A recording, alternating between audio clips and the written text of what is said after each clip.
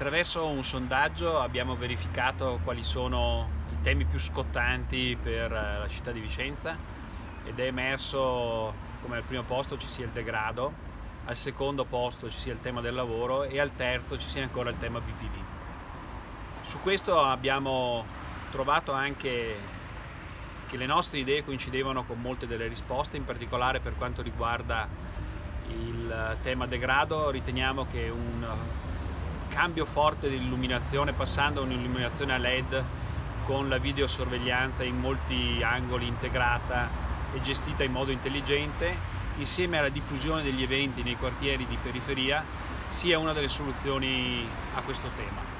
Per quanto riguarda il lavoro pensiamo a una sorta di ufficio di collocamento comunale che interagendo con regione e provincia aiuti a profilare i giovani, aiuti a dare delle indicazioni per la loro formazione, aiuti a rompere il ghiaccio per il primo impiego. Per quanto riguarda la BPV, parafrasando un altro celebre ufficio, abbiamo l'idea di avere una sorta di ufficio danni BPV che si affianchi al sindaco nella discussione con le associazioni, con gli enti, nel stare sempre a fianco